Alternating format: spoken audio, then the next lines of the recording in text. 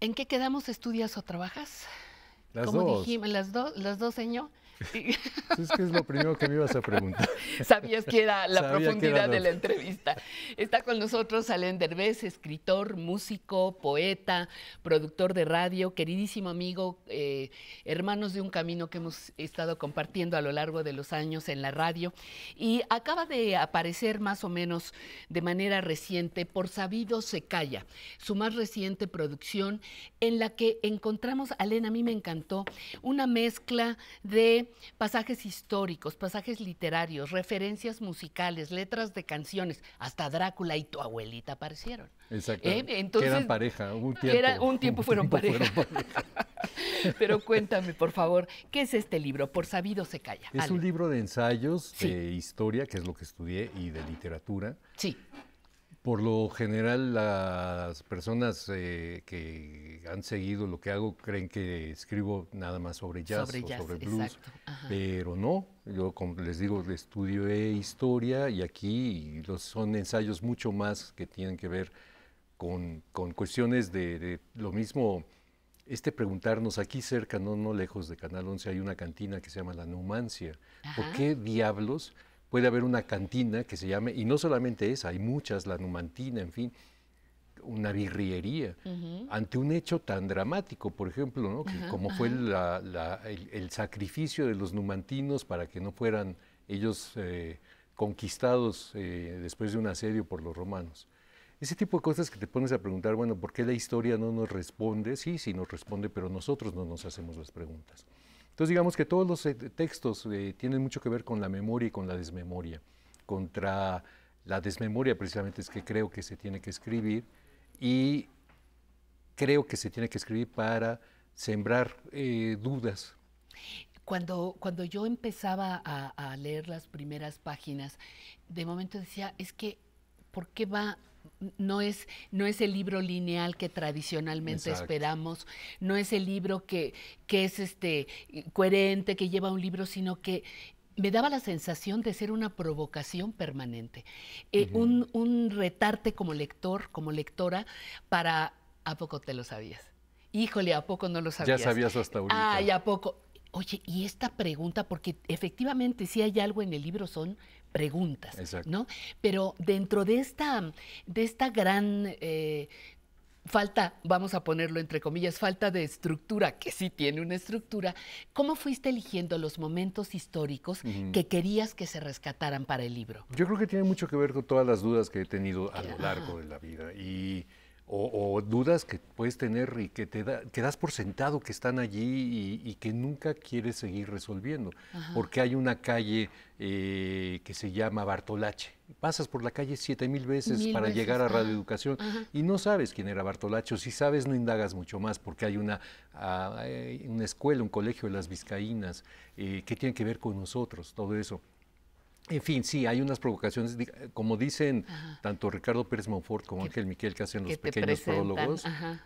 eh, tiene mucho que ver con el jazz, porque precisamente el hacer jazz es eso, de pronto citas algo que no tiene que ver aparentemente y se desarrolla un tema sobre lo que citaste y regresas a por donde habías empezado y vuelves a irte por otra parte, pero siempre vuelves o al menos propones que al, el lector busque la manera de regresar y él mismo, ella misma, a darle una respuesta a la pregunta que estamos haciendo, que tiene que ver eh, la burundanga con Hildegard von Ah, sí, Bingen, la por ejemplo. ¿no? O que, que tiene que muchísima. Sí, sí. Hay un ensayo sobre jazz eh, que, que se llama Jazz. eh, mm, ay, se me fue ahorita el nombre, pero es precisamente que tiene que ver con nuestra identidad.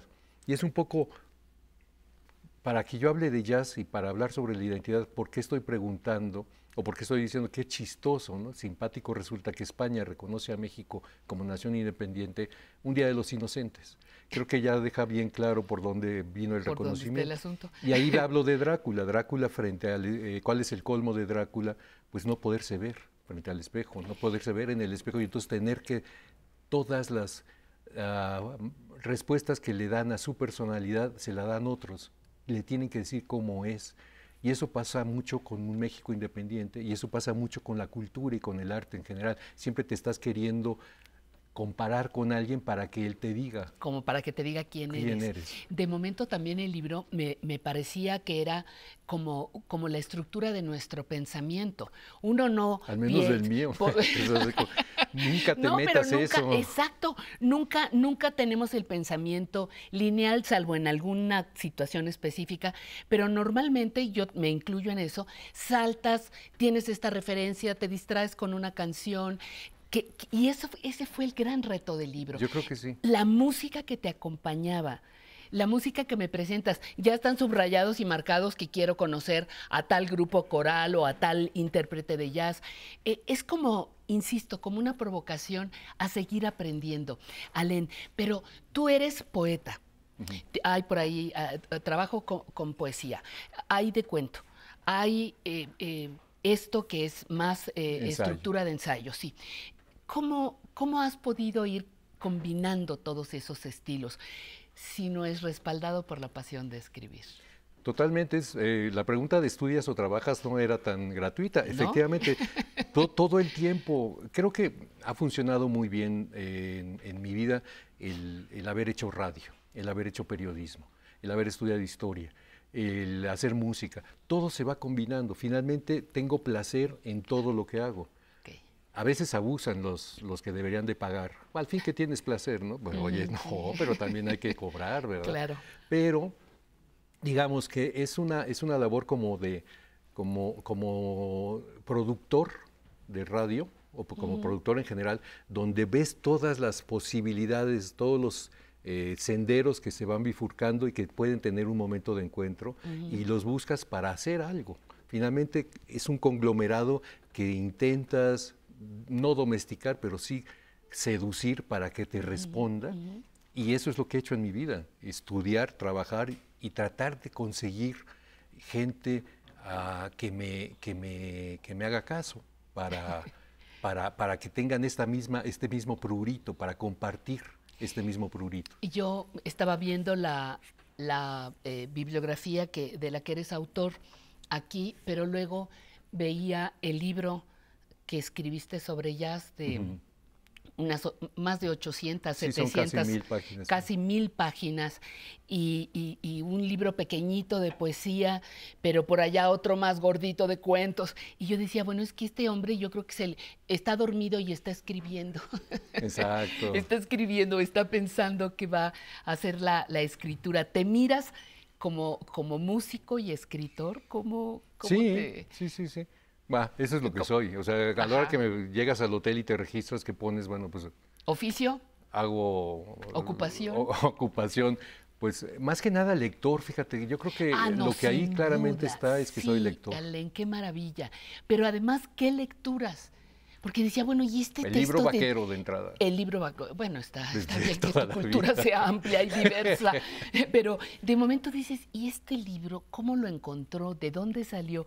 Por eso te digo, es un, recordarte, bueno, que no sabes nada, en, mi caso, y que es una muy buena guía, ¿no? Para seguir para seguir leyendo y escribiendo. Pero la lectura estaría también entre tus pasiones. Totalmente, totalmente. Eh, creo que todo el tiempo es importante leer y, intentar ser seducido por la lectura. Tengo un problema que es que por disciplina hay libros que debería de haber abandonado desde la primera página y no lo hago. Eso no está bien, pero bueno, eso finalmente ya es parte de la educación espartana, analgadas que recibí no, no voy a hablarte en el diván ahora, ¿verdad? No, no, no quisiera, por favor, no es para tanto, es domingo, pero, por favor. Pero, no, yo creo que sí, eh, leer es muy, muy importante, leer y me, ha servido para, para, para, finalmente lo que estamos haciendo tú y yo, que es conversar. La idea es esa, es eh, escribir como conversar. Pero para conversar necesitas, a la hora de pasarla a la, a la letra escrita, pues tener la capacidad de sintetizar y de editar eso es, lo que hay que hacer y leyendo aprendes a poner eh, lo más relevante y quitarte entonces de tanta paja para poder intentar comunicarte con el otro en la conversación. ¿Cómo, ¿Qué sigue? ¿Qué sigue en, en, tus, en tus proyectos? Está ese gran libro de jazz que está, escribiste. Tengo que entregarlo ya, la siguiente edición. ¿Hay otro, otra edición ya, En el Fondo de Cultura, sí, sí, sí, ya lo tendría que haber entregado y por andar viniendo entrevistas. Por andar escribiendo esto y venir a entrevistas a Canal 11. No, pero tengo ya, tiene que salir este año, eh, entrego el libro de, del jazz en México, la nueva edición. Vendrás a presentarlo aquí sí, también. me invitan, por supuesto, por supuesto que sí. Y estoy acordándome, hace un año, un año pasó ya de la entrevista de Canal 11 contigo. Es, esto de la pandemia es una tontería, es una infamia, porque hace que el tiempo se te escurra de las manoplas de mala manera. pero, lo importante es que aquí estamos y seguimos. Y, y, aquí estamos y la verdad una, una sugerencia, eh, conocer a, a, a, Lena a través de este libro, de los muchos trabajos que tiene eh, ya eh, editados, ya reconocidos y se me olvidó decir otra parte, pero será tema de conversación posterior. Quiero nada más aclarar, hoy es cumpleaños de mi hija, Erendira, ah, que, hizo, la portada. que hizo la portada. Muy bien, muy bien. Bueno, te, te iba a decir que luego hablamos de, de, lo que hiciste durante muchos años como promotor cultural, que eso es algo también que claro. hay que destacar. Muchísimas gracias, gracias Alen Derbez, por tu presencia.